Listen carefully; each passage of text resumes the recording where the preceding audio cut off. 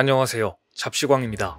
2021년 이집트 수에즈 운하에서 좌초해 모든 배들의 통행을 막으면서 전 세계를 물류 공포에 휩싸이게 만들었던 초대형 컨테이너선 에버 기브노를 기억하시나요? 지난 2021년 3월 23일 컨테이너 선박 에버 기브노는 수에즈 운하에서 좌초돼 운하의 통행은 6일간 완전히 차단됐고 이집트는 운하가 막히면서 천문학적인 손실을 입었다며 에버 기브노의 선사인 에버그린에 1조 원대의 손해배상을 청구했습니다. 그런데 사고를 일으켰던 문제의 선박은 일본 선사 쇼에이 기센이 건조한 것으로 밝혀지면서 일본 조선업의 명성에 커다란 치명타를 남겼는데요. 치명타를 입은 것은 대만 선사 에버그린도 마찬가지였습니다. 수에즈 운하 좌초 사고가 있고 얼마 지나지 않아 이번에는 중국의 고속도로에서 육지 길막 사건까지 발생하면서 에버그린은 국제적인 길막 민폐의 대명사로 낙인 찍히고 말았습니다. 사고는 중국 난징해 안 고속도로에서 녹색 바탕에 흰 글씨로 에버그린이라고 적힌 컨테이너 차량이 충돌 사고를 낸 게 시작이었습니다. 이 컨테이너 차량은 방향을 잃어버린 채 4개 차선을 가로지른 상태로 멈춰섰고 사고 지점 뒤로는 수십 대의 차량이 그대로 멈춘 상태로 기다리며 정체가 시작됐습니다. 사고 차량은 해운사 에버그린의 하청을 받은 운송업체의 트럭이었는데요. 그리 특이하지 않은 교통사고였지만 수에즈 운하 길막 사건의 임팩트가 워낙 컸기 때문에 당시 상황이 담긴 CCTV 화면이 중국 웨이보를 통해 확산됐습니다. 에버그린이란 브랜드의 트럭은 다른 국가들의 여러 온라인 커뮤니티에도 공유되는 등 또다시 화제가 되며 길막의 대명사로 낙인 찍히고 말았습니다. 심지어 비슷한 시기 에버그린은 자사의 컨테이너선이 대만에서도 사고에 엮이는 바람에 최악의 한 주를 보냈습니다. 대만 언론에 따르면 수에즈 운하를 마비시킨 에버기븐호와 동급인 에버젠트로가 타이베이 항구에 정박하는 과정에서 부두에 기중기와 부딪혔고 사고 여파로 컨테이너선의 굴뚝이 심한 손상을 입고 말았던 것입니다. 항구를 관할하는 대만 항무공사 지룽지사 측은 전날 컨테이너를 싣는 작업을 완료한 기중기와 선박이 동시에 움직여 사고가 났다고 사고 경위를 밝혔습니다. 사실 중국 고속도로를 막은 것은 트럭 운전사의 잘못이지 에버그린의 잘못이라고 볼 수는 없습니다. 그럼에도 에버그린 하면 길막이라는 고정관념이 생길 정도로 수에즈 운하 사고가 에버그린의 이미지에 미친 악영향은 컸습니다. 하지만 에버그린사가 잘못한 것은 딱 한 가지 있습니다. 일본 조선사의 선박을 구입했다는 것인데요. 그 대가는 상상을 초월했습니다.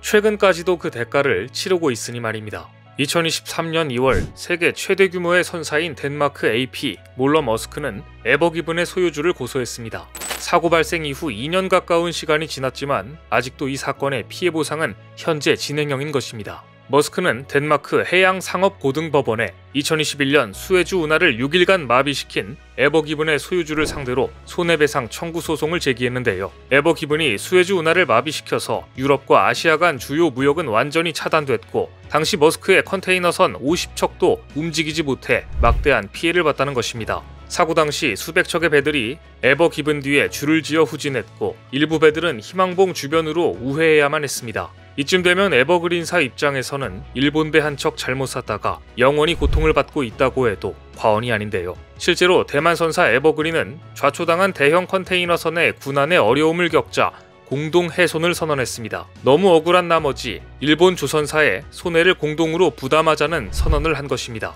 공동해손은 해난 사고를 당한 선박과 화물이 공동으로 피해 금액을 분담하는 제도를 말합니다. 이후에도 에버그린의 시련은 끝나지 않고 있는데요. 1년 전 에버그린의 1만 2000 TEU급 컨테이너선 에버 포워드는 미국 동부 지역 볼티모어항 시거트 머린 터미널을 출발한 뒤 같은 날 저녁 체서피크만 해상에서 좌초됐습니다. 사고가 난 해역의 수심은 8m에 불과했는데요. 이 정도 수심에서 어떠한 이유로 좌초되는지 의문입니다.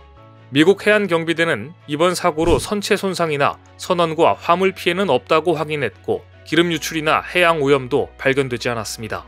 다만 선박 인양에 난항을 겪고 있다는 점이 문제였습니다. 에버그린은 미국 해양구난회사 돈존 스미트를 기용했고 해양구난회사는 배 주변을 준설한 뒤 밀물 시간을 기다려 이틀간 배를 진흙바닥에서 건져내려고 시도했지만 모두 실패로 돌아가고 말았습니다. 결국 다음 만조 시기까지 기다려야 했고 세 번째 시도 끝에 좌초된 지 한 달 만에야 겨우겨우 구조됐는데요. 세 번째 시도에서는 무게를 가볍게 하기 위해 선박에 실려있던 5천여 개의 컨테이너 중 500개를 내리고 주변 해저를 13.1m까지 준설하는 작업을 진행해야 했습니다. 이처럼 계속 문제를 일으키자 대만 선사 에버그린은 두 손 두 발 다 들고 1년 전 이집트 수에즈 운하에서 좌초된 에버 기븐호처럼 에버 포워드에 대해서도 공동 해손을 선언했습니다. 앞서 에버그린은 자사의 배가 수에즈 운하 차단으로 막대한 물류 피해가 발생하자 선주사인 일본 쇼에이 기센에게 공동 해손을 선언한 바 있습니다. 그리고 일본 조선사에 질려버린 대만 해운사 에버그린은 이제 일본을 완전히 손절하고 한국의 초대형 일감을 맡기기 시작했습니다. 안 그래도 전 세계 대형 선박 수주가 밀려들어 작은 배는 주문을 받지도 않은 한국 조선 3사에 최근 대만 선사 에버그린까지 배를 만들어 달라고 부탁했습니다. 한국의 조선 3사, 삼성중공업과 대우조선해양, HD 현대중공업이 에버그린이 발주 예정인 컨테이너선 24척의 유력한 파트너사로 물망에 오르며 수주 기대감이 커지고 있는데요. 업계에 따르면 에버그린은 1만 6천 TEU급 이중 연료 컨테이너선 입찰을 시작했는데 발주 규모는 24척, 가격은 척당 1억 7,500만 달러, 한화 약 2,300억 원 이상으로 추정됩니다. 총 계약 금액은 40억 달러, 약 5조 3,400억 원 상당입니다. 어마어마한 계약 규모인데요. 에버그린은 삼성중공업과 대우조선해양, HD 현대중공업의 입찰 참여를 요청했고 이 수주 전에는 일본 1위 조선소인 이마바리조선, 대만국제조선공사, 중국 다렌조선 등도 참여했는데 한국 조선 3사가 친환경 초대형 선박 제조에 워낙 경쟁력을 갖고 있어 수주 전망이 밝다는 평가를 받고 있습니다.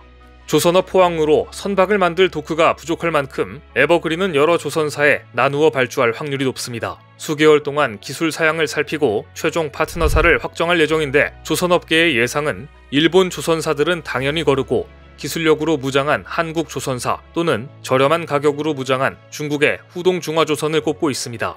후동 중화조선의 모회사인 중국 선박공업은 아직 2026개의 슬롯이 남아있는데요. 중국 선박공업의 자회사들끼리 힘을 합쳐 여유로운 슬롯을 무기로 에버그린의 주문을 따낼 수 있다는 분석도 나오고 있긴 합니다. 하지만 국내 조선 3사는 세계 1위 수주 경쟁력으로 승부를 띄울 전망인데요. 영국 조선 해운 시황 전문기관 클락슨 리서치에 따르면 한국은 올해 1분기 65척의 수주 잔고를 기록해 전 세계 일감의 44%를 따내며 중국을 약 7%포인트 격차로 앞질렀습니다. 특히 삼성중공업은 1분기에만 누계 수주 3조 원을 돌파해 흑자 전환이 전망되고 대우조선해양은 1분기 수주액이 약 1조 6천억 원으로 연간 수주 목표치의 11.5%를 이미 채웠습니다. HD현대중공업은 3년치 일감을 확보했으니 세계 선박 제조 시장에서 한국 조선 3사의 수주가 얼마나 대단했는지를 말해줍니다. 현재 세계 조선업 역시 초격차 기술력의 전장이 되고 있습니다. 수주 실적에서는 한국이 여전히 세계 1위지만 중국의 맹추격을 받고 있는데요. 지금까지는 기술력에서 비교가 안 될 정도의 우위를 보였지만 중국이 많이 따라왔고 더욱이 미국, 독일 등 전통의 강자들도 디지털로 재무장해 다시 패권을 노리고 있습니다. 그래서 한국이 친환경 LNG선, 미래형 선박 개발에 사활을 걸고 있는 것입니다. 대형 컨테이너선이 한 번 좌초되면 막대한 피해를 입게 됩니다. 그 피해 규모를 따져보면 차라리 만들 때부터 제값을 주고 제대로 만드는 게 중요하다는 생각이 들 수밖에 없는데요. 이런 치열한 경쟁 속에서 일본이 건조한 선박들이 계속 문제를 일으킨다면 최고 수준의 품질을 원하는 업체들은 결국 한국에 손을 내밀 수밖에 없을 것입니다. 오늘 준비한 소식은 여기까지입니다. 댓글을 통한 여러분들의 많은 의견 기다리겠습니다. 시청해주셔서 감사합니다.